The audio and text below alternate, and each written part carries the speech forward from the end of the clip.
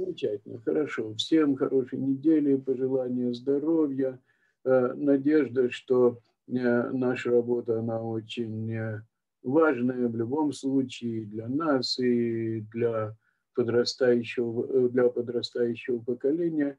Необходимо как-то прочитать книги пророков и с Божьей помощью, с молитвой на устах и в сердце – мы продолжаем книгу Шмуэль, книгу Шмуэль Бет.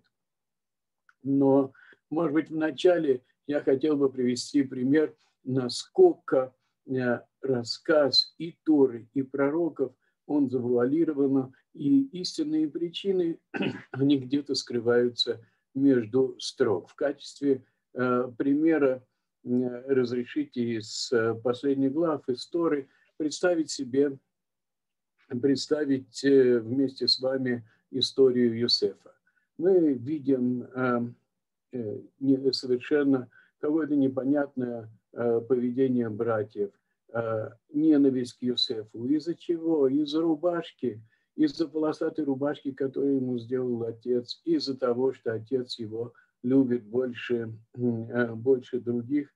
Это не, это не совсем понятно, Э, если мы тем более говорим о, о великих праведниках, вот мы, э, мы можем представить себе э, на самом деле настоящую причину, настоящую причину конфликта, которую можно найти, как бы вычленить, выкопать, достать из под земли, если так сказать, перерыть, перекопать многие комментарии, то вот эм, такая, э, э, такая книга, эм, как э, Седор Дурот Раф Гинзбурга, написанная 200 лет назад примерно, она раскрывает такую причину. Да? Юсеф не был вместе с братьями в тот момент, когда они Э, когда они пошли в Шхем. Иосиф остался, и он не пошел. Причина заключается в том, что в семье э, Авраама, начиная еще с самого Авраама, были э, сомнения, были непонятность, как можно исправить мир. Всевышний дал силы, неограниченные. Можно выйти на войну и победить врага и заставить злодеев, злодеев бежать, но можно ли так исправить мир? Можно ли так людям объяснить что-то?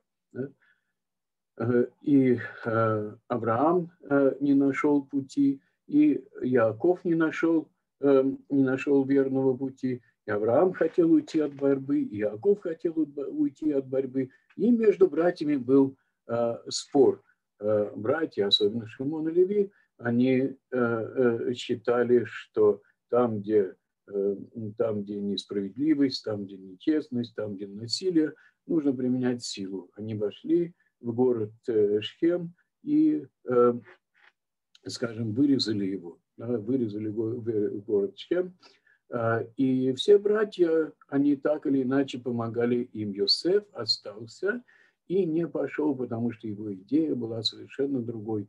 Он считал, что применение силы даже в таком случае – оно оттолкнет народы, э, народы мира, а главное – это постараться распространить идею э, единого Бога среди народов.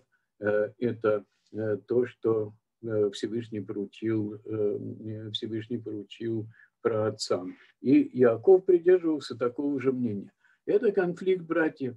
Да? И мы понимаем, что когда люди выходят на войну, а один остается в тылу, то здесь уже Э, как бы примирения дальше, настоящего примирения быть не может. Может быть, но оно потребует много времени, много осмысления, э, взаимопонимания.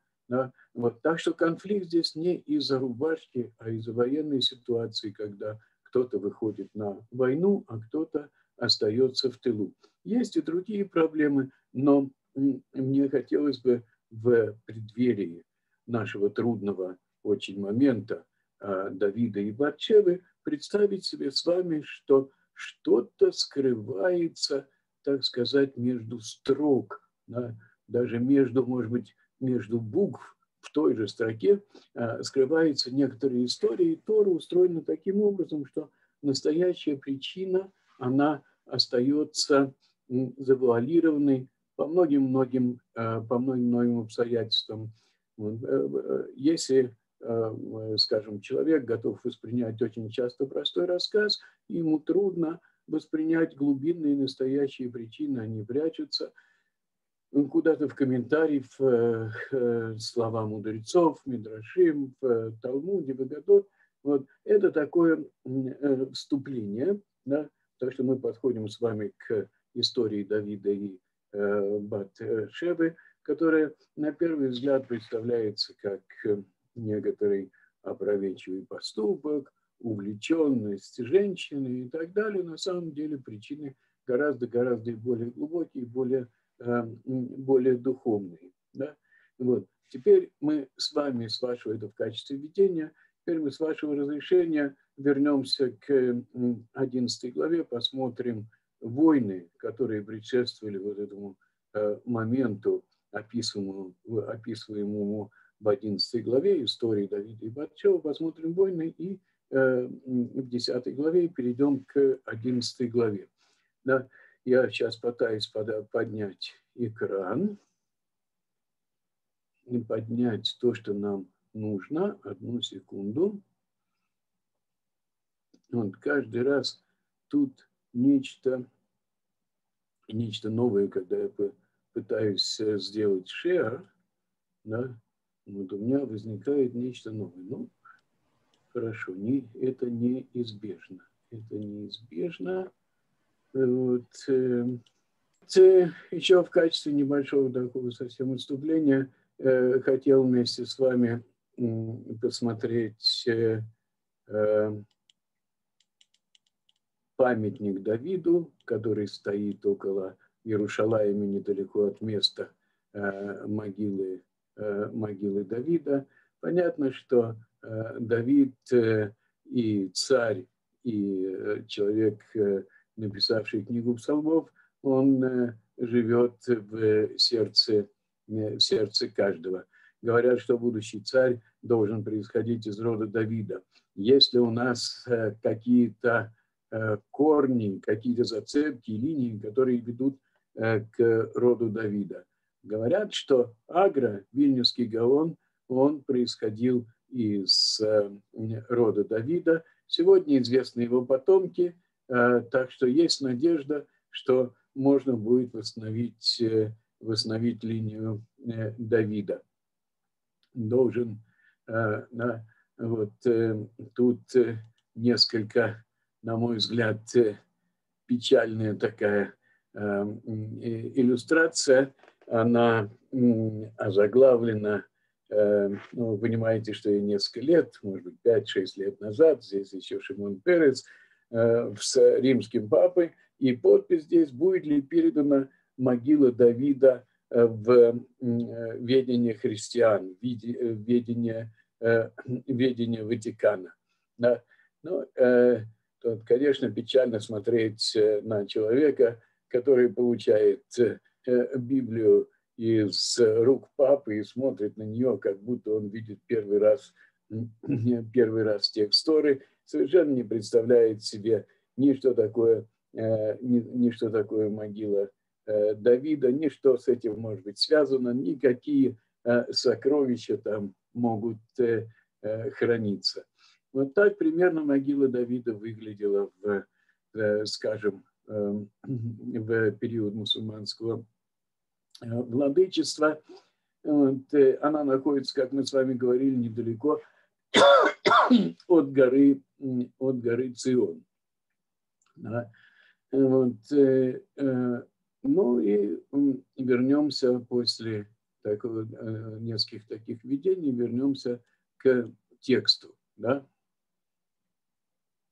Мы помним с вами, что 10 глава начинается с, с того, что Давид а, решает установить отношения с Амоном, э, э, как э, с Амоном царь, который взошел на престол после смерти своего отца Нахаша, а Ханун, царь Амона, он спас брата Давида, единственного оставшегося из всей его семьи, после того, как царь Муаба расправился со всей семьей Давида. Мы помним проблему, которая связана с тем, что Давид посылает послов с миром в ОМОН. Помним, что э, Всевышний запретил обращаться к этому народу с миром, даже запретил говорить ему э, шалом. Но Давид полагал, что э, Ханун, который приблизился к Торе под влиянием его брата Ильягу, что ситуация изменилась и можно попытаться ОМОН Э, как-то привлечь э, к служению Всевышнему. Вот. Э, но Ханун, молодой царь, он оказался не в состоянии, человек, который действительно интересовался Торой, который был близок к брату Давида, он оказался не в состоянии противостоять своим слугам, как это часто бывает, своим советникам, Э, и эм, те эм, сказали ему, что Давид посылает слуг не с миром, а для того, чтобы разведать столицу эм, Рабат, э, Рабат Амон. И э, они посоветовали, так скажем, настойчиво посоветовали Хануну, чтобы он отправил их с позором. Да, и взял Ханун слуг Давида, избрил им половину бороды и обрезал одежды их наполовину, до седалищих и отослал их. А, то есть он сделал все для того, чтобы а, опозорить э, э, слуг Давида.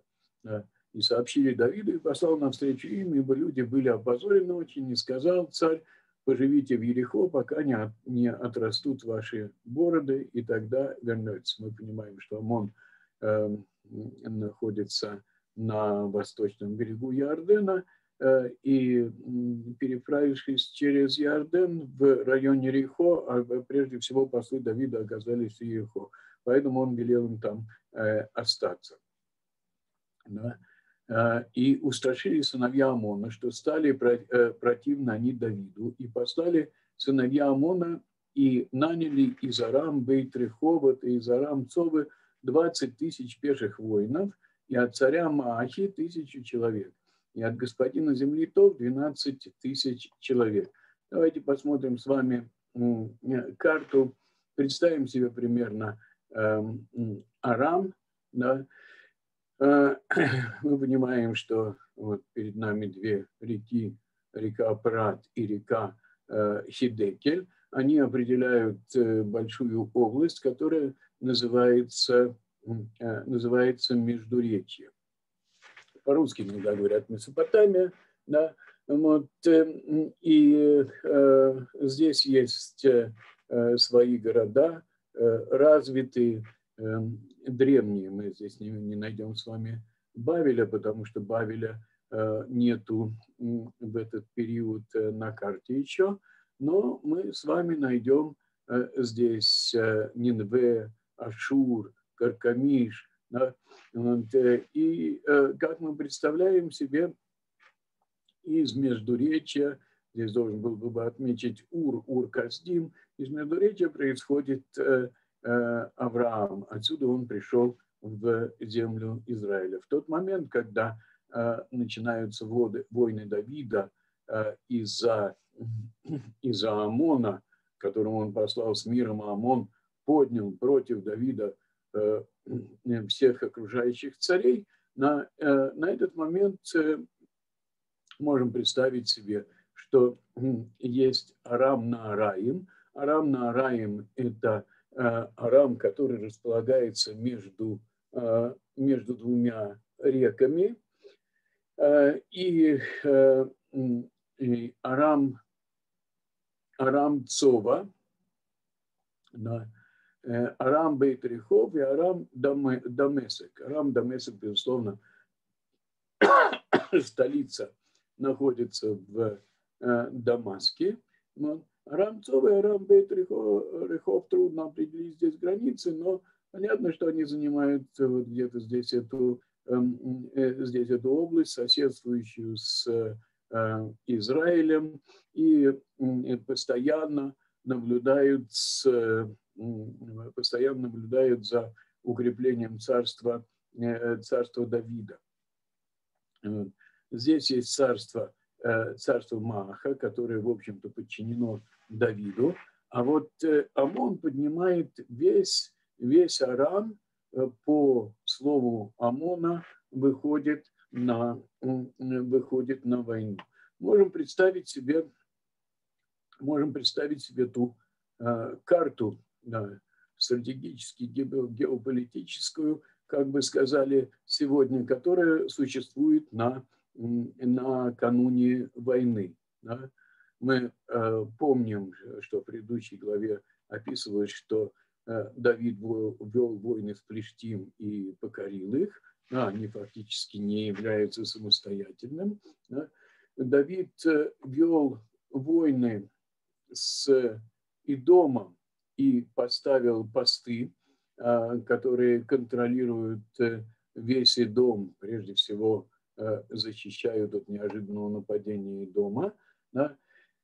Вот. И а, также, также он вел войну и с Эм, с Арамом и одержал победы и поставил посты также на границы, которые отделяют эм, от, э, которые отделяют от Арама. Да? Ну, э, мы видим, что здесь как бы Амон выделен отдельно, с ним Давид не вел войны, рабатный Амон. Да? А вот с Маав, Маав Давид его покорил, как мы помним с вами.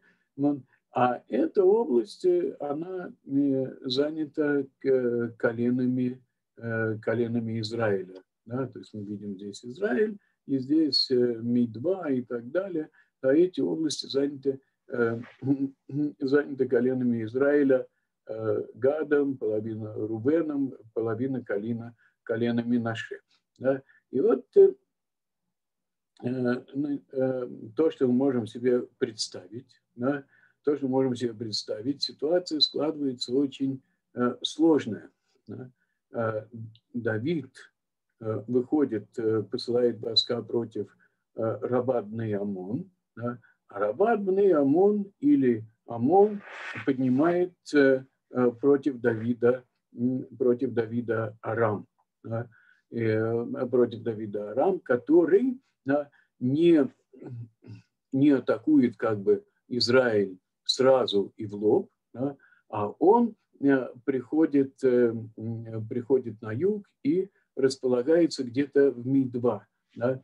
Таким образом, э, отряд Давида да, оказывается между Рабадной и Амон и между войсками, между войсками Арама, ситуация складывается очень тяжелая. Да? Это как бы предварительно. Давайте посмотрим, давайте посмотрим текст. Может, представляя карту, нам легче будет с вами э, увидеть, что происходит здесь да? Э, в тексте. Вот. И мы видим, что сыновья Амона подняли, подняли Арам Бейтерихов, Рамцова, да, э, э, подняли э, оттуда тысячу пеших воинов, э, от э, царя Махи тысячи человек, и от господина земли Тов, также находится на севере, э, на севере земли Израиля 12 тысяч человек. Э, вот. Что мы можем здесь себе с вами представить?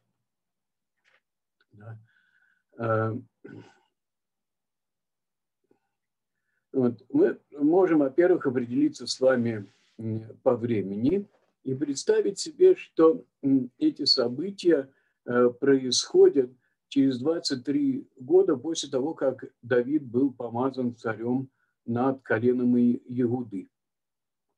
Да? А, вот. И э, теперь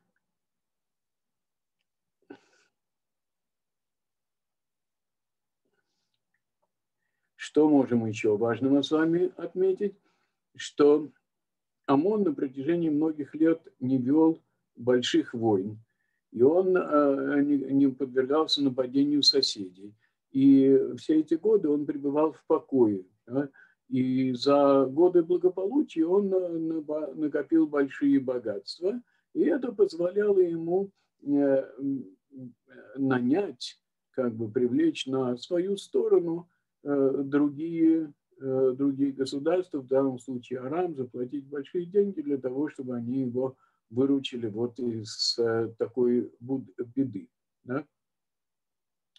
А вот э, э, теперь, да, теперь, теперь мы с вами движемся в бой. Да, и услышал Давид и послал Иоава и все, все войско а, отважных людей.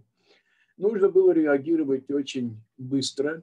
Давид хотел защитить Э, колена, которые на восточном берегу, на восточном берегу Ярдена, и э, он начал, э, начал собирать войска да, из, так сказать, ополчения, призывая сыновей Израиля, а то, -то, те отряды постоянные, которые у него были, он направил сразу, мгновенно под, э, под Рабат Амон, да, э, надеясь, что они смогут захватить город. Рабат Амон был очень сильно укрепленным э, городом.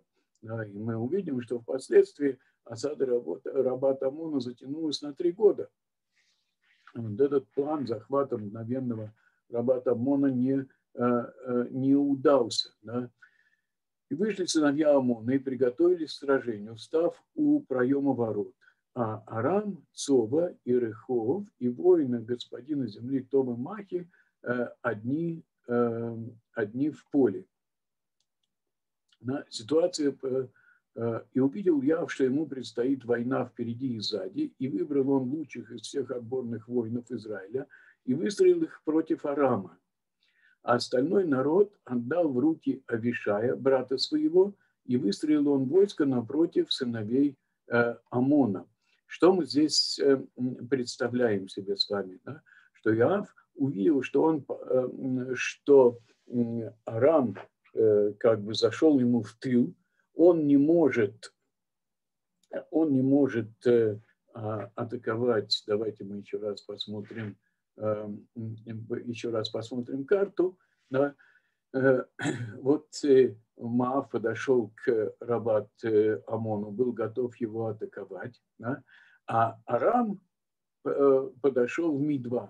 И Иоав оказался зажатым между Рабат, э, Рабат Амоном, где собралось множество воинов, фактически как бы все население, боеспособное Амона собралось в этом городе, единственном укрепленном городе Амона, и они готовы, э, готовы атаковать Иоава, а, и Арам готов атаковать Иоава с тыла. Что, он, э, что делает Йоав? Он берет своего брата Авишая, эм, который эм, возглавлял воинов, находившихся в, находившихся в крепостях, э, э, воинов, находившихся в крепостях, сдерживающих, так скажем, и дом, и позволяющих властвовать над домом. И дом, э, в свою очередь, он не, он не присоединился к этой войне, но он нанес тяжелый удар сыновьям Израиля, нанес удар по этим крепостям, э, и Авишай был вынужден оставить эти крепости, много людей погибло, с небольшим числом людей он присоединился к Йоаву.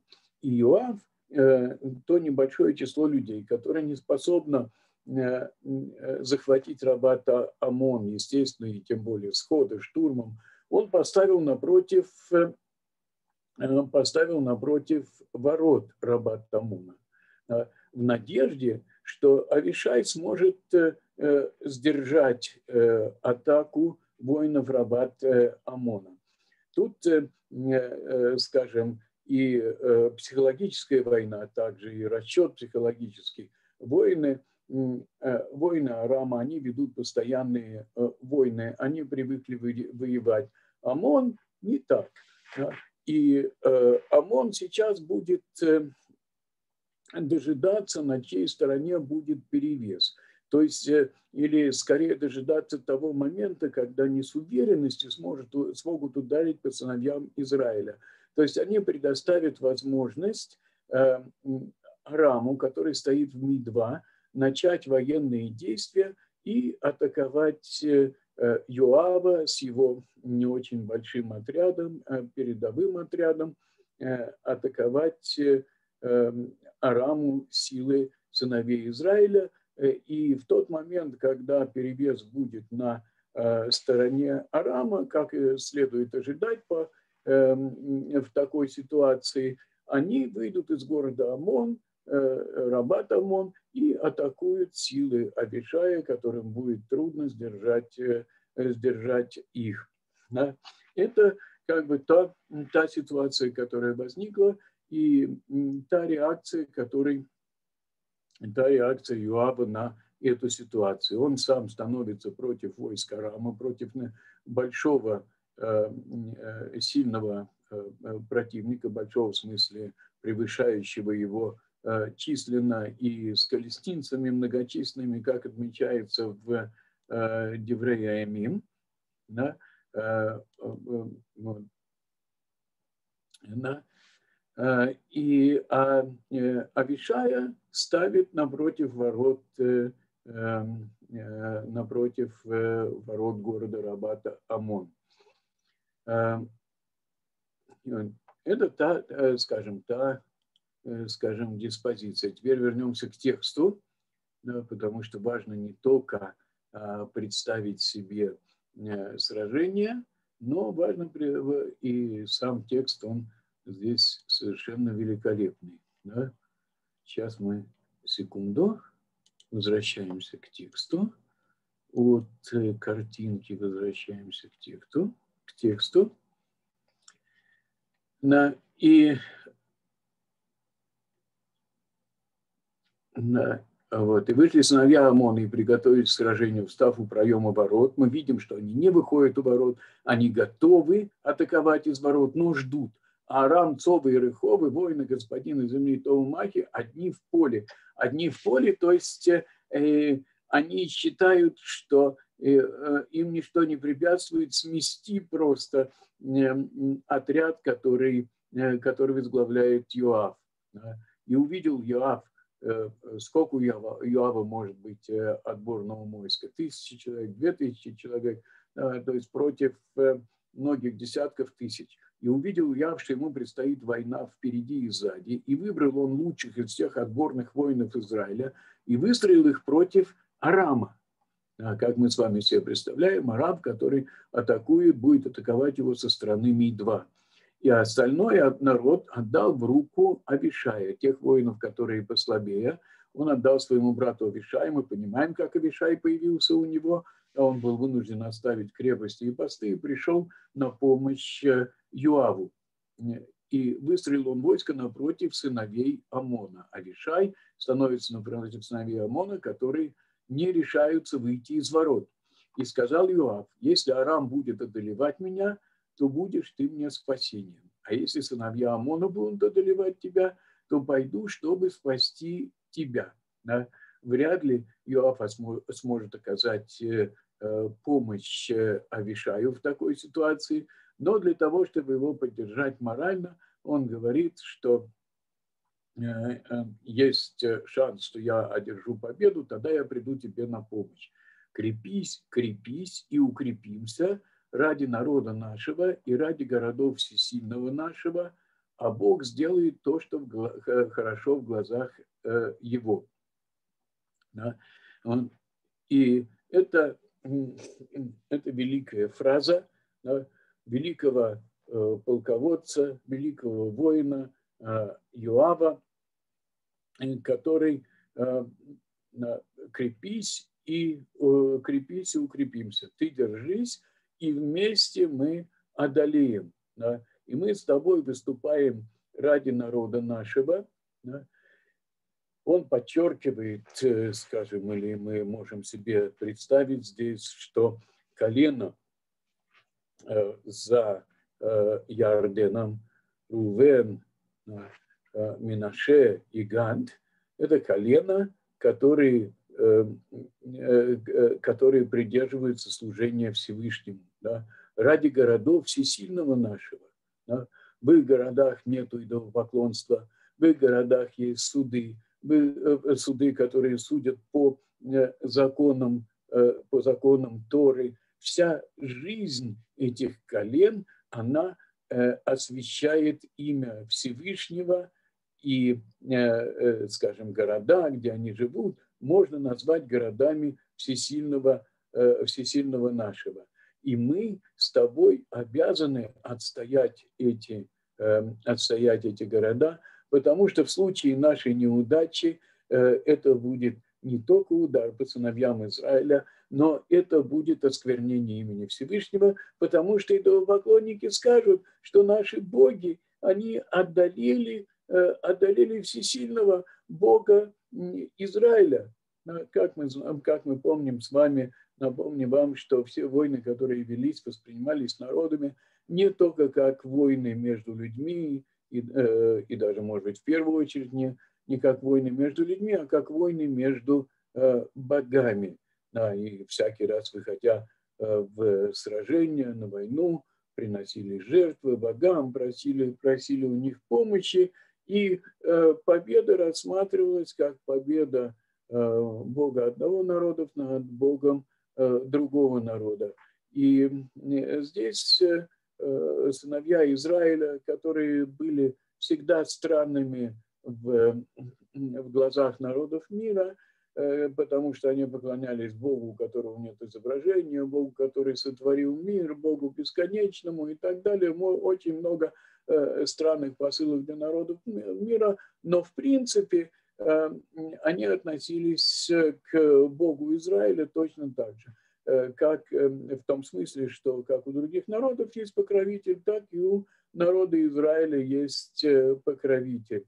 Да? И вот Иоав говорит, что мы обязаны отстоять, э, отстоять города, где Тора, где молятся, все, где молятся Всевышнему, откуда люди приходят, откуда люди приходят в Иерушалаим, к к Давиду, в тот э, мешкан, который он установил э, в Иерушалаиме. Вот, если мы с тобой не отстоим эти города, то это не только урон для сыновей Израиля, не только гибель людей, но и э, осквернение имени Всевышнего. Да? А Бог сделает то, что хорошо в глазах, э, э, то, что хорошо в глазах Его. Да? А, и эм, э, э, я, эм, кроме, кроме Йоаба, э, такую фразу еще сказал Или, как мы помним с вами, эм, первосвященник периода эпохи судей, Илью, которого воспитывался Шмуэль, он также сказал, Бог сделает то, что хорошо, хорошо в глазах его ситуация, ситуация очень тяжелая, э, и вера Юаба во Всевышнего э, абсолютно, и то, что Бог сделает, то и, э, то и хорошо. И вступил Яв и народ, который с ним в сражение с Арамом, и побежали они от него.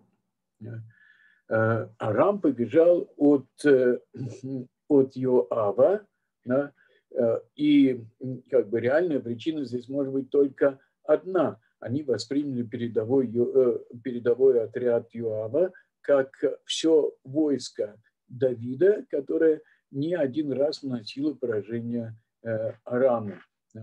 И эм, если говорить о помощи Всевышнего, то она, безусловно, здесь была.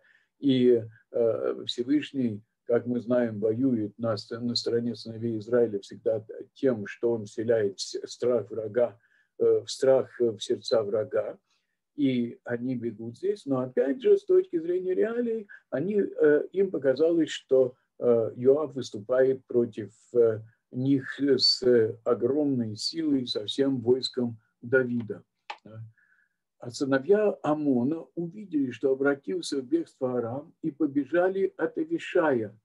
То есть они, видимо, когда началась атака со стороны э, Арама на войска Юава, Амон вышел из э, ворот, предвидя и предчувствуя победу, но вместо э, того, чтобы праздновать победу вместе с Арамом, Э, они обратились в бегство так же, как и Арам. Когда они увидели, что Арам бежит, они также побежали. Бежали от Авишаи и вошли в город. Они заперлись в городе. Вернулся Иоав от сыновей Амона и пришел в Иерушалаим, полностью разбив, нанеся а, колоссальный урон Араму.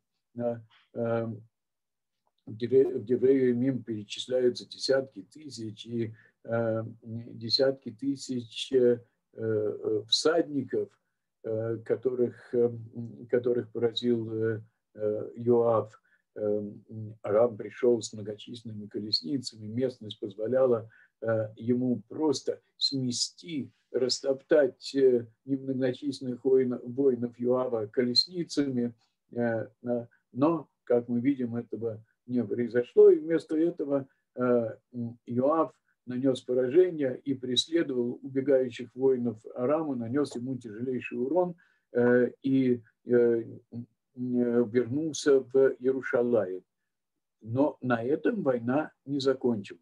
Закончилась. Увидел Арам, что потерпел поражение от Израиля, и собрались цари вместе, да, вот, и послал Гададаэзер, и вывел Арам, который за рекой, и пришли в Хейлам, и Шовах, а, не очень известно э, место этих городов, где-то они находятся на северной границе Израиля, за границей Израиля на севере. Вот, началь, э, э, Нехилам и Шобах, начальник войск Гададаэзера, идет перед ними. И сообщили Давиду, и собрал он весь Израиль и перешел Ярден.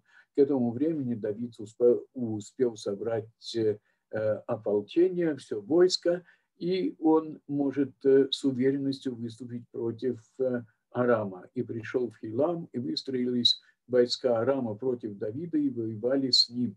И побежал Арам от Израиля, и убил Давид из войска Арама 700 возничих колесниц и 40 тысяч всадников.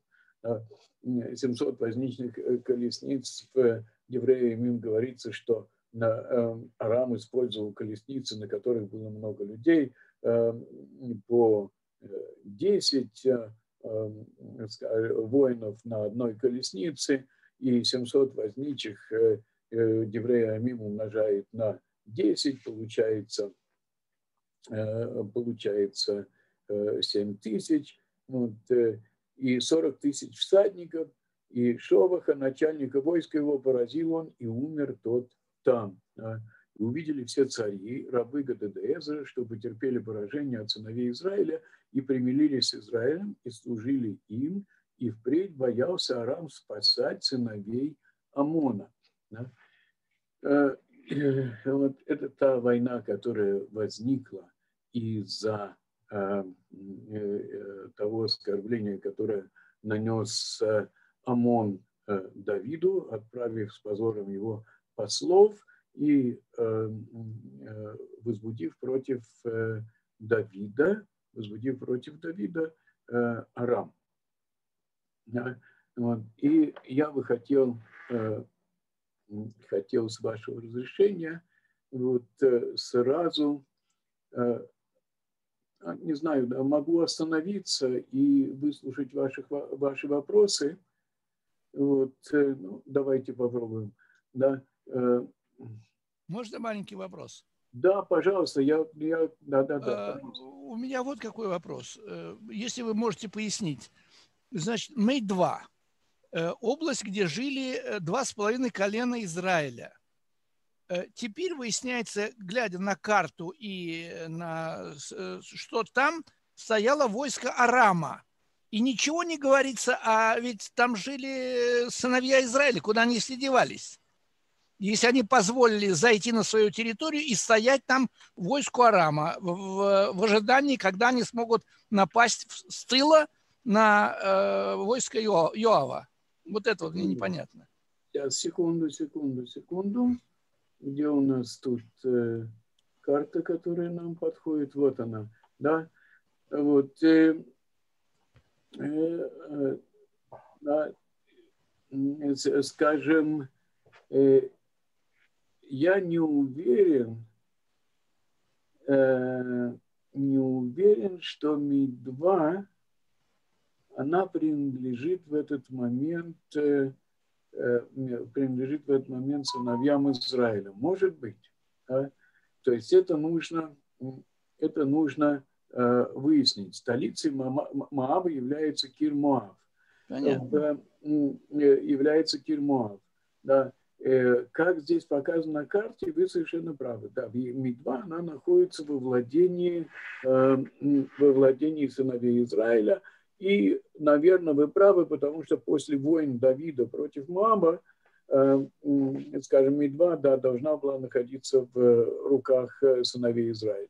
Насколько я представляю себе, да, что война – это не, как скажем, не такое простое Э, непростое такое дело, как мы знаем, знаем да? Для того, чтобы выйти на войну, нужно произвести мобилизацию. Э, и э, один, один город или какое-то число людей, они могут оказаться не в состоянии противостоять огромному войску, которое появляется сейчас в их районе неожиданно, да? скажем, да? И э, войско Арама могло захватить Ми-2. Могло не захватить Ми-2, остановиться возле э, Ми-2, э, но такому огромному войску Ми-2 ничего не могло противопоставить.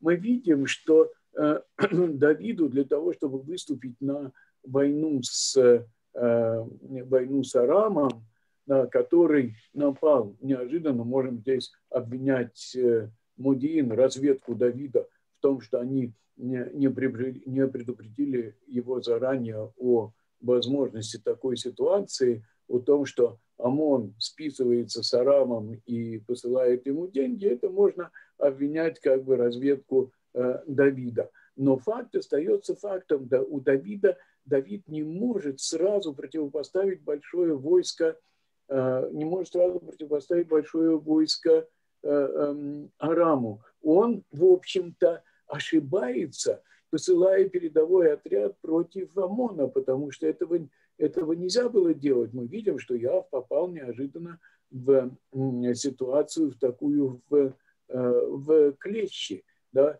И, это, эм, и это ошибка э, Давида. Также, конечно, не было учтено то, что а, и дом может э, эм, явно или неявно присоединиться к этому бунту, поддержать и ударить по, по крепостям. Да, то есть мы как бы, как бы в наше время сказали, мы, мы видим провал, э, провал разведки. Да. А то, что э, населению, которое заранее не готово, очень трудно противопоставить что-то войску, которое неожиданно появляется в районе одного из городов – мне кажется, что это вполне как бы вполне понятно. Да, да спасибо. Вот. А, э, в, Таилим сказано, что Бакотоет Арам Нагараем Вет Арам Сува, Ваяшув Йоав, Ваяхат Дом Бегей Мелах Штема Саралев. Это про эту войну? Да. Э, эм, значит, э, в Таилим говорится о эм, нескольких, э, э, здесь, скажем, Таилим смешивается несколько, и про эту войну тоже, как бы я сказал, да, здесь есть несколько э, моментов, которые смешаны как бы вместе в Таилим, да, но в принципе это говорится про, про эту войну. Эта война имела свое продолжение, вот почему я говорю так осторожно про Таилим, потому что эта война имела свое продолжение. Естественно, и дом Э, который э, нанес такой э, удар со спины, он не остался безнаказанным. Да? И Юав пришел впоследствии с целой экспедицией в Идом, с карательной экспедицией в Идом, и с целью похоронить воинов, которые погибли в этих крепостях, предать их погребению, еврейскому погребению. То есть у этой войны было продолжение. Тагилим говорит сразу о нескольких, о нескольких моментах, объединяя их вместе, не разбивая на какую-то хронологическую последовательность. Вот. Да. да. Можем сделать следующий шаг, перейти с вами к, перейти с вами к 11 главе. То, что, собственно, должно было, было, как всегда, я не очень рассчитал время, должно было быть основной темой наших, э, нашего занятия. Вот. А мы с вами все-таки, все-таки переходим к 11 главе. Да? Вот.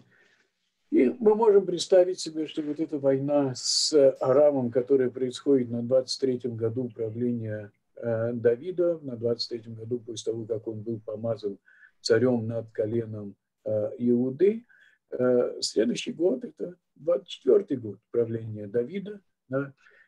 И Давид, как мы с вами легко представили из прошлой главы, Рабат Амон остался не захваченным – Естественно, в плане Давида наказать, э, наказать Рабат Амон серьезно за э, такое коварство двойное и оскорбление его послов, и э, то, что на, призвали на помощь, заплатили и призвали на помощь Арам, Давид собирается наказать Рабат Амон, но он посылает войска в Рабат Амон – а сам не выходит на, сам не выходит на эту войну. Да? И э, мы с вами читаем в начале 11 главы, и было на следующий год, в то время, когда выходят цари на войну, да, имеется в виду весеннее время, э, летнее время, говорится, что это происходит в месяце Э, события, которые описываются в этой главе, происходят в месяце Сиван. Мы понимаем, что это уже э, летний, в общем-то, э, месяц, месяц теплого времени. И послал Давид Иоава с ним слуг, послал и с ним слуг своих, и весь Израиль, и разорили они страну сыновей Амона, и осадили город Раба, а Давид находился в Иерушалайме. Это первая война, на которую не выходит, э, не выходит Давид сам. Если в прошлый раз он послал Юаба с передовым отрядом, это не значит, что он не собирался присоединиться к войне. Мы видим, что он собирал ополчение. А здесь Давид остается в, э, в Иерушалаиме. Давайте себе, поскольку дальше мы представляем себе, что история весьма и весьма проблематичная, э, давайте мы с вами Э, представим себе, э, представим себе Давида. Да? Вот, э, мы можем представить себе, что Давид знал из донесений своих людей, и своей разведки, что Амон не смирился, и вот он посылает отряды к Амону.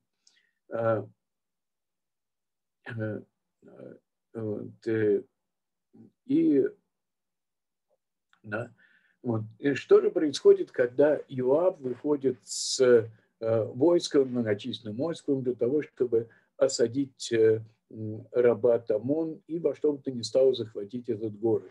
А?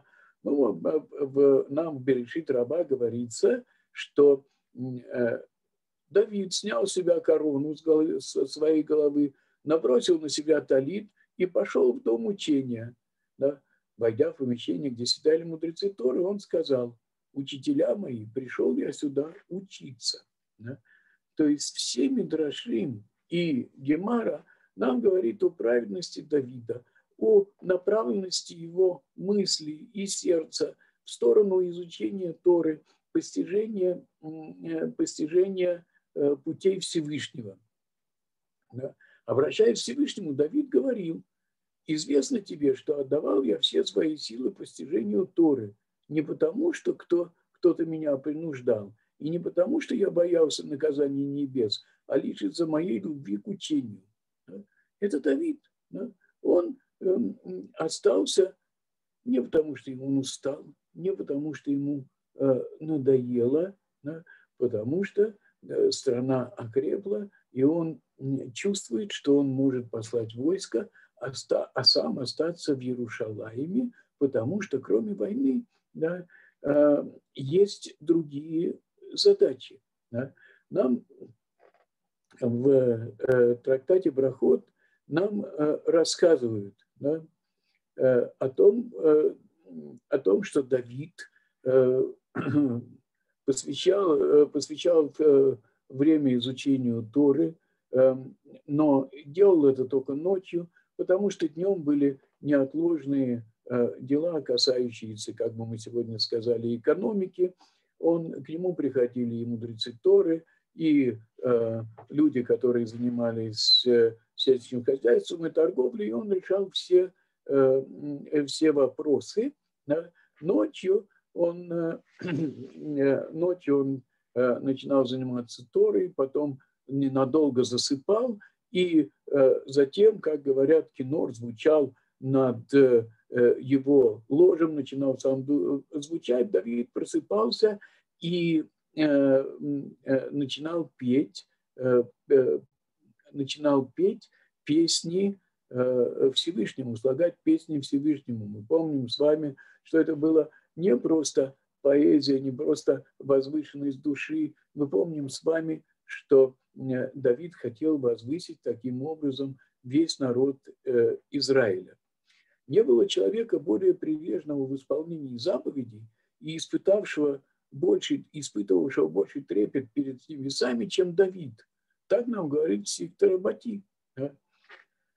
А, а, можем э, в трактате Шаббат нам говорится, что подчеркивает, что учение Торы может постичь только тот, у кого есть трепет перед небесами, а Давид явно проникал в тайны Торы. Да?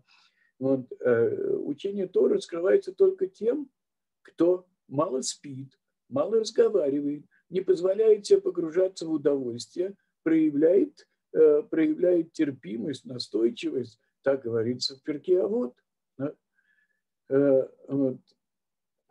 И усилия Давида, безусловно, нашли отклик на небесах. И поэтому в трактате Шаббат опять же говорится, ценнее для меня, говорит Всевышний, как бы да, слышал это Давид, понял или нет, но мудрецы в любом случае свидетельствуют, что усилия Давида нашли отклик на небесах, и Всевышний говорит, ценнее для меня один день, когда ты занимаешься Торой, чем тысячи жертв. Да? Вот. Теперь, затем мы с вами как бы, э, э, затем мы с вами это вспоминаем, затем мы с вами вспоминаем, что вот, э, царь Давид пробудился, чтобы заниматься Торой, вот, э, э, то весь народ говорил, что и нам следует посвятить время учению, так говорит Ярушалми, Брахот, вот, и так далее, так далее. Можно сказать множество слов о том, что Давид остался не в Иерушалайме не для того, чтобы получать удовольствие, не для того, чтобы пить вино, не для того, чтобы сидеть на пирах. Он занимался э, проблемами народа, а ночью занимался изучением Торы и духовной э, работы. И более того, Давид посвящал много времени э, молитве. И в трактате Сангидрин на 49-м листе говорится, что если бы не Давид, Иоав не мог бы побеждать в сражениях. Да? Вот, и приходили к нему утром мудрецы и говорили, ну вот, царь Давид, ты вот тут Торой занимаешься, поешь, а как же со всем народом? Да? Вот. Э, и царь Давид уделял внимание и всем э, проблемам, которые э, материальным проблемам. Вот. В субботу он забирал к себе людей и говорил с ними, как мудрец Торы, разъяснял им Тору. Э, обо всем этом нам рассказывает и Талмуд, и Мидраш Шаба. Затем мы это с вами все посмотрели, с вами вспомнили, вспомнили, да, потому что Следующее предложение говорит нам. «И было вечернее время, и встал Давид с ложа своего и начал прохаживаться по крыше. Можем представить себе, что вот Давид проснулся, ночью. Он весь погружен в заботы народа и в духовные заботы, если так можно сказать, э, как возвысить народ э, духовно. Он поднимается на крышу и ходит по крыше царского дома и увидел с крыши женщину, купающуюся в своем доме. А женщина-то очень хороша на вид. Ну, хороша на вид. Ну, женщина. Ну, купается она, как э, э, говорит трактат Шаббат, что э, случайно там занавеска. Мы, во-первых, можем представить себе ситуацию. Да, если кто-то э, был на э, шетах Джи, то, что называется раскопки города Давида, то он может представить себе, что дома стояли вплотную друг к другу, город очень э, маленький по площади, дома стояли вплотную друг к другу, и э, иногда крыша какого-нибудь э, дома служила верандой, скажем, или балконом, дома, который стоял выше, а дом, который стоял ниже, его крыша служила некоторой такой прогулочной площадкой для дома, который стоял выше. То есть дома, дома стояли на э, склоне ступенями, э, крыша одного э, дома была на уровне, на уровне скажем, пола другого дома. Это, как бы весь город был построен такими уступами, то, что на иврите называется толпиот, уступы. Сегодня, скажем, есть такое слово митурагим, да, вот когда на горе так строятся дома, когда крыша одного дома, она э, на уровне пола другого. А на э, иврите вот, времен Давида это называлось столпиот. Э, э, и места не было, а мы знаем законы, мы знаем законы ритуальной э, чистоты в семье, да, тоже не нужно путать с э, э, ритуальной чистотой, которая соблюдалась, когда стоял, эм, когда стоял храм, а может быть, ритуальная чистота семейная, она как бы часть, может быть, той общей системы ритуальной чистоты, которая требуется от человека – ритуальной чистоты для того, чтобы войти в храм, почувствовать божественное присутствие и так далее. Да, законы ритуальной чистоты все-таки нужно выделить отдельно, они соблюдаются и э, в наше время. Женщина после, скажем, определенного периода, она должна, при, э, она должна окунуться в микву, и только после этого она становится, э, после этого она становится разрешенной э, мужу. Вот. Иногда миквы находились на крыше домов, потому что миква, как мы представляем себе, она э, является кошерной только в том случае, если э, вода э, не была начерпана, начерпана руками людей, а собралась как дождевая вода в некоторый, скажем, водоем, который мог быть как бы построен на крыше. Очень хорошо умели изолировать, обносить покрывать такой, э, скажем, известью, которая не, не пропускает э, воду. И часто, часто как бы часть крыши, она э, становилась вот таким бассейном, в который женщина погружалась после определенного периода для того, чтобы быть разрешенной, разрешенной мужу. Да? И, скажем, да, мы представляем себе, что дворец Давида, он находится на самом высоком месте, он сам по себе строение высокое. Да? Поэтому, когда он поднимается голову, на, э, на крышу, он э, видит перед собой весь город. Естественно, что женщины не выходили обнаженными на, крыше, на, на крышу, вот, что были занавески, там, где, там, где были миквы. Но вот случайно, как говорит трактат Ядрин, пришел сатан, выпустил стрелу, и э, упала какая-то загородка, и он на мгновение Давид, э, Давид увидел э, женщину. Да? Увидел женщину, хорошо. У Давида 17 жен. Да? Вот, э, э, э, женщины, которому, к которому он относится с любовью, и, и это и Михаль, которая спасала его, да, несмотря на тот конфликт, который возник во время переноса ковчега, он относится к ней с большой любовью, и Авигаль, да, который обладает пророческим уровнем, и он очень, очень ценит. Да нужно э, представить себе, да, почему Давид не, не вышел на войну. Ему в это время, э, Давиду, кстати, 52 года. Да. Ну что же это такое для царя? Он увидел красивую женщину, и все уже. Да? Случайно увидел красивую женщину, и все. У него все, у него, как говорят, зашкалили, зашкалило, полетели все фьюзы, не может быть.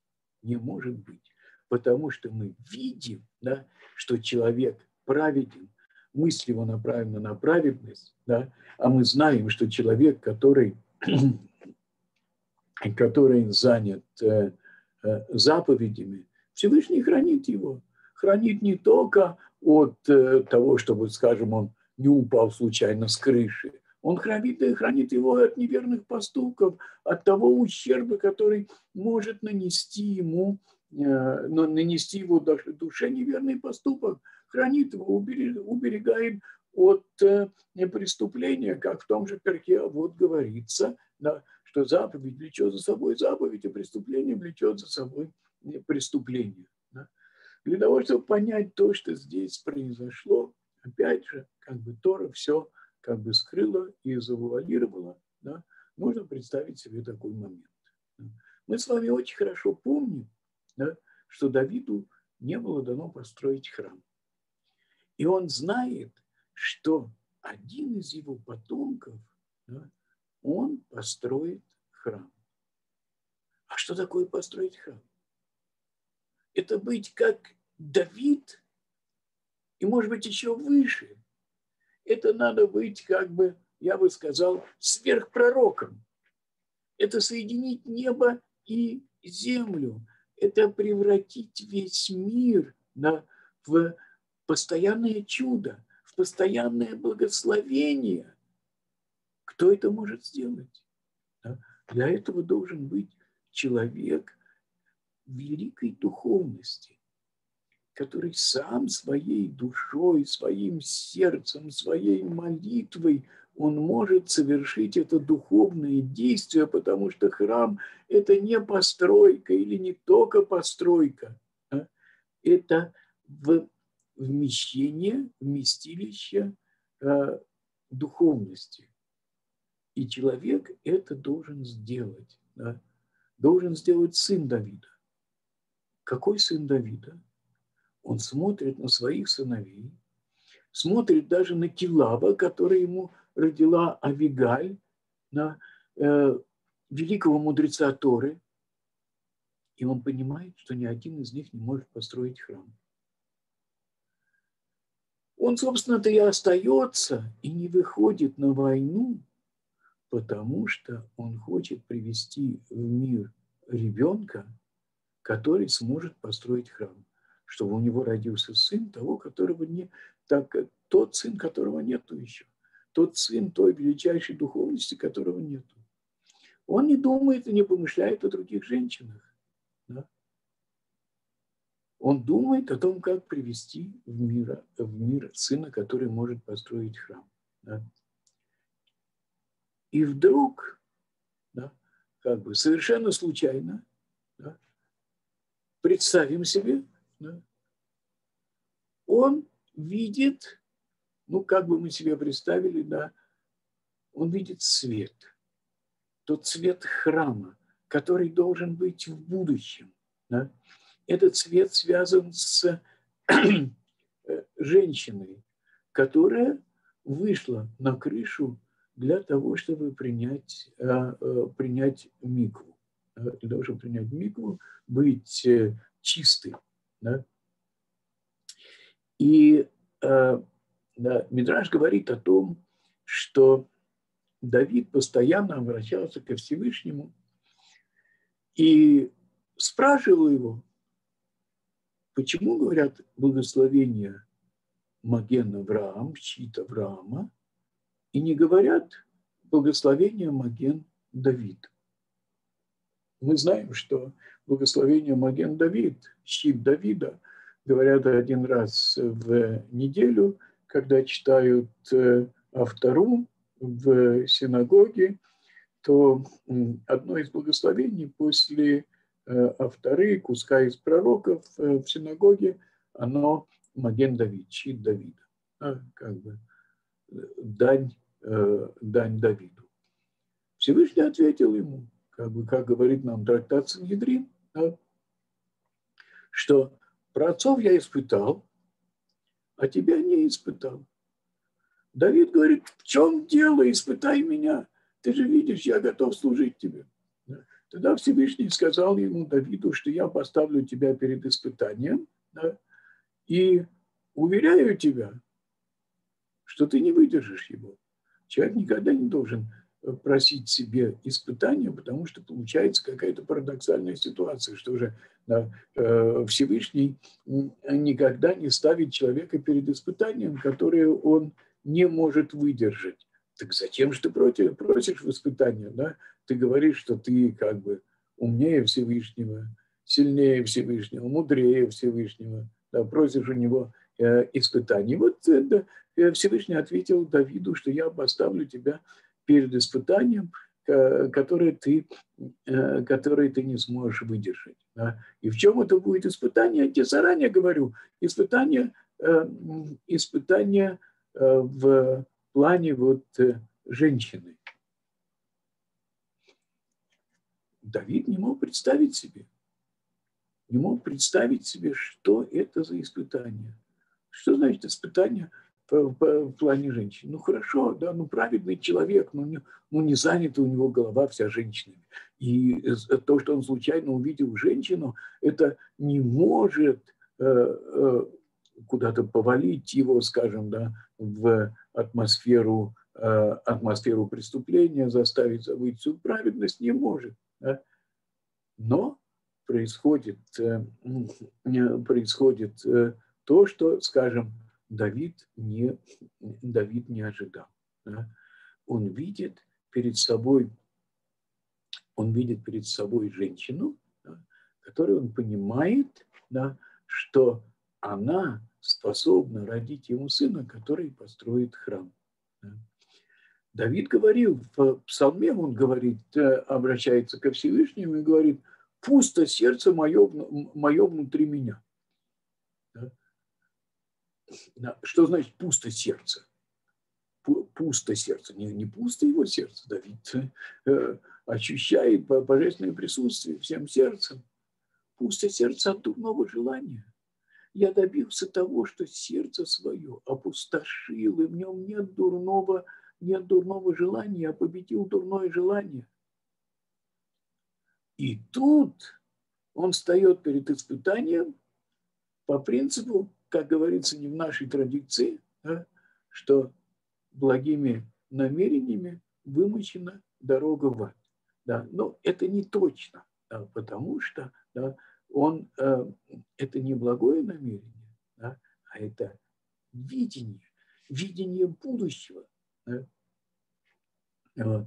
Э, так мы пример, примерно можем себе э, представить э, ситуацию мы понимаем, что речь идет о Батшеве, да, и в трактате Сангедрин нам говорится, приготовлена была Батшева Давиду с начала сотворения мира.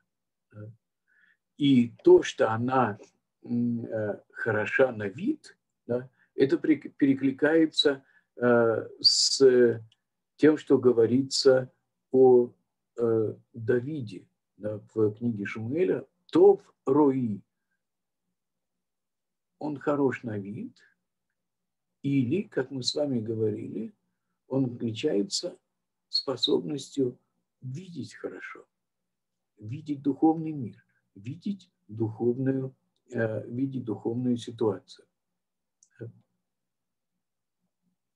И послал Давид, чтобы разузнать об этой женщине, и сказал постный, да ведь это Батшеба, дочь Илиама, жена Ури по прозвищу Ахите, Ури хитейца. А, Давид послал для того, чтобы а, выяснить, а, замужем ли Батшеба. Теперь нам нужно поговорить о Батшебе, и мне бы не хотелось э, мы только скажем, что в Деврея, э, Деврея Мим она названа Батшуа, дочь спасения.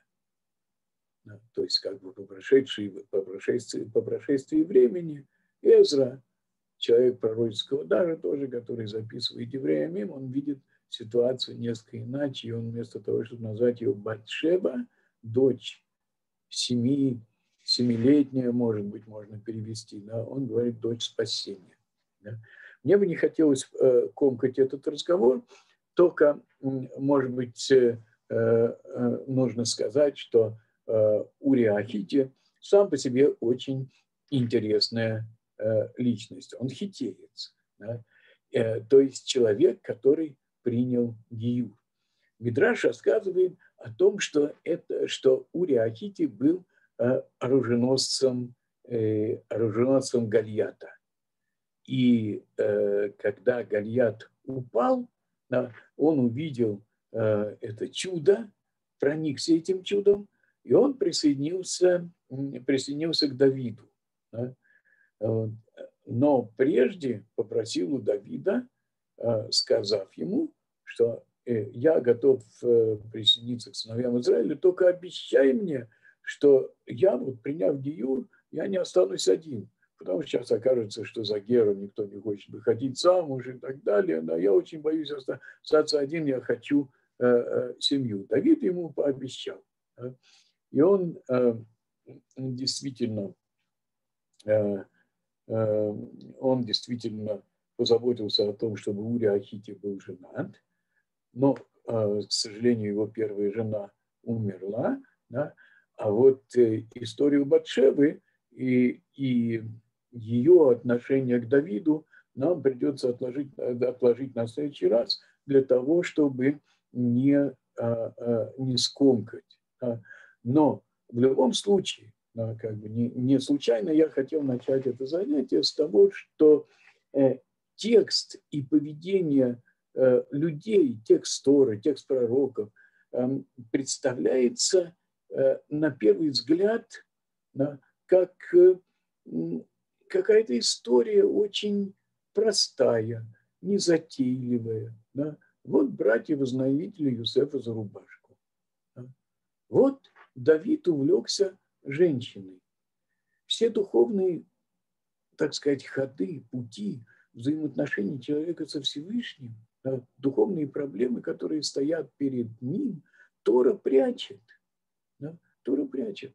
А, прячет в какие-то слова, да, в какие-то истории, которые доносят до нас э, мудрецы. Почему?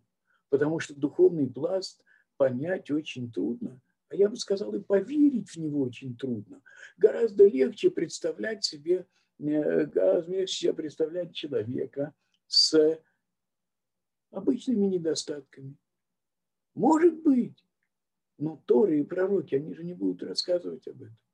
Зачем? Да? Что? Ноах был пьяница, который, э, который привык пить, пить вино до потопа, и после потопа первое, что ему захотелось, это выпить стаканчик хорошего вина, и поэтому он посадил виноградник. Да нет же! Целая история, скажем, да, духовного, духовных представлений Ноаха о мире, Ноаха, который пережил потоп, и, и Э, после потопа у него не было радости, он мог найти радости. Да? Вот э, целая огромная история скрывается за этим, э, за тем, что мы себе представляем как стаканчик хорошего доброго вина. Да? Вот. И поэтому и пророки, и Тора, они представляют определенную трудность изучения. Возвращаясь на секунду к истории о Иосифе, которую мы начали с вами, да, мы видим с вами вот в последних наших главах, есть очень много там о чем поговорить, но такой момент, что когда братья бросают Юсефа в яму, они садятся есть хлеб. Вот. А продают они его, как говорит нам Митраж, за стоимость сандалий. Что это такое? Почему есть хлеб? Потому что Йосеф – это квинтэссенция духовности, квинтэссенция святости земли Израиля. И когда они его продают, отказываются от него, они хотят есть. Раньше им хватало крошки хлеба, да?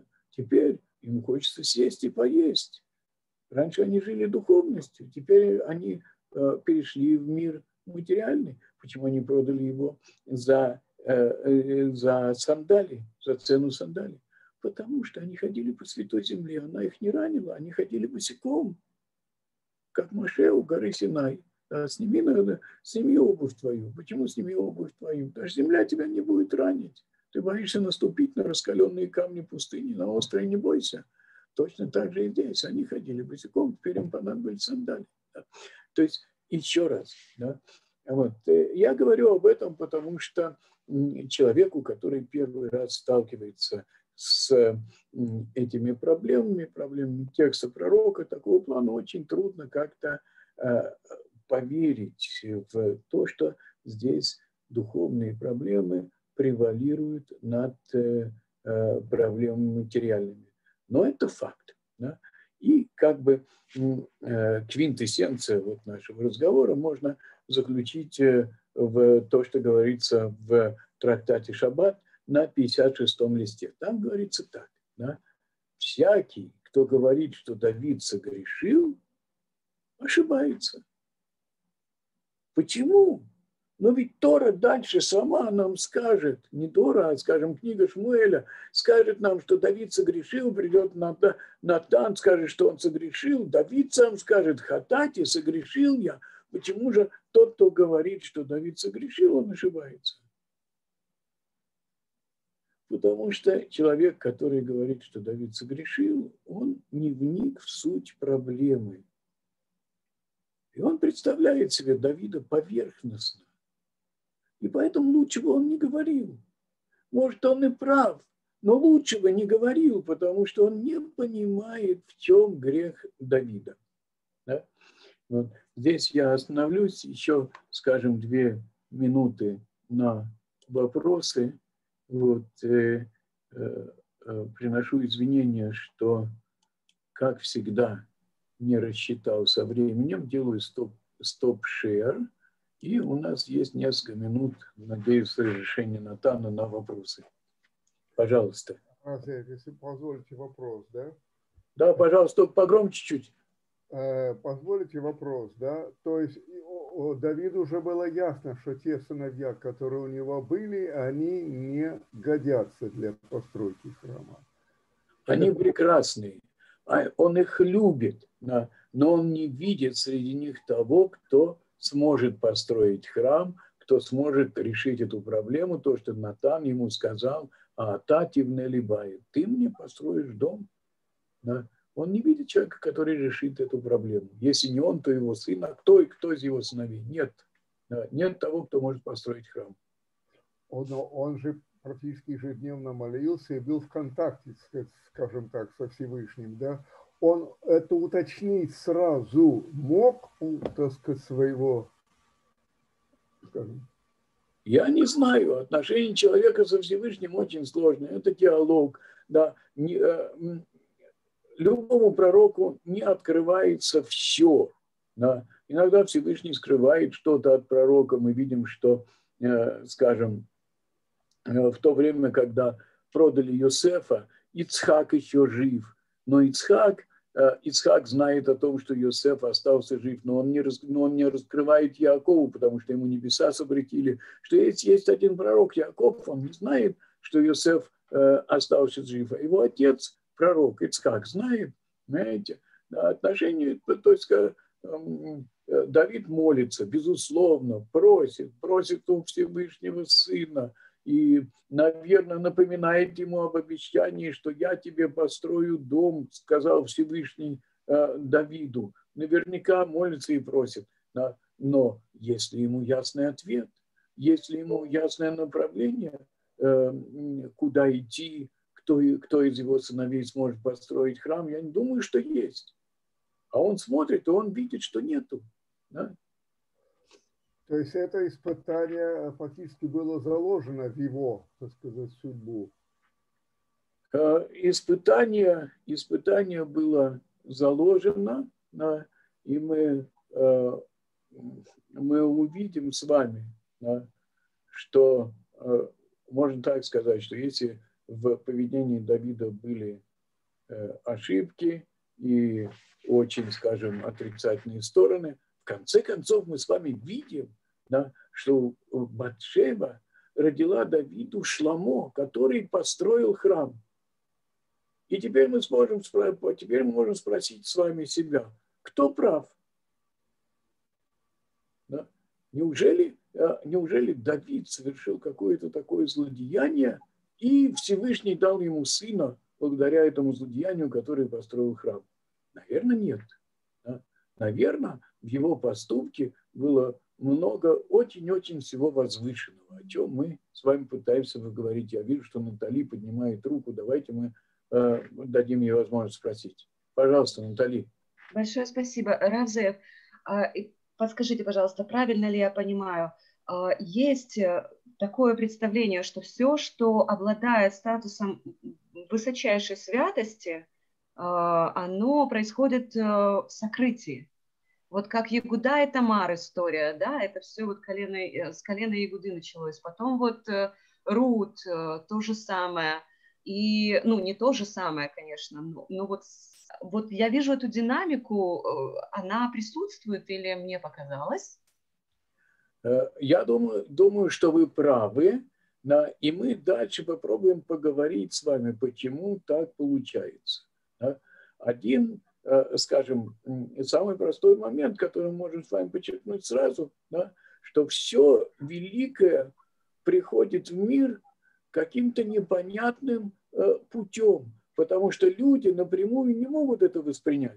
Мы видим, что самого Давида людям было это трудно принять, что его рождение как-то покрыто каким-то э, туманом, да, э, то ли Э, то ли законное рождение, то ли он из, э, принадлежит э, Мааву и не имеет права жениться ни на ком в среде Израиля. Да? Вы правильно вспомнили Иуду. Да? То же самое со Шламо. Великое, огромное приходит в мир каким-то таким путем, да? Эм, скажем, да? что, потому что эм, путем, я бы сказал, косвенным путем, э, потому что люди не в состоянии воспри, воспринять на, э, напрямую великий, э, великий свет, который входит с рождением таких людей. Я дико извиняюсь, но надо кончать. Да, я, я может знаю, быть, надо, я знаю, да. что мы тебя... Может быть, нам следует как-то изменить наше расписание. Я не знаю, почему мы каждый раз не укладываемся. Но, Огромное всяком... спасибо. Большое да. спасибо, okay. И огромное спасибо. Я только хотел сказать, что у нас с нового гражданского года у нас будет некоторые изменения в нашей как бы мисгарет рамке.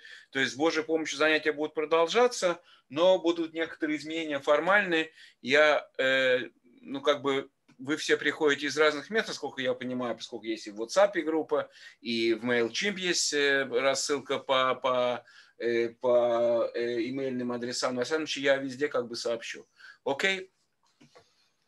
Хорошо. Все, тогда на сегодня мы кончаем. У нас следующее занятие буквально впритык. Это иврит по недельному разделу прошедшему. Микец. Все.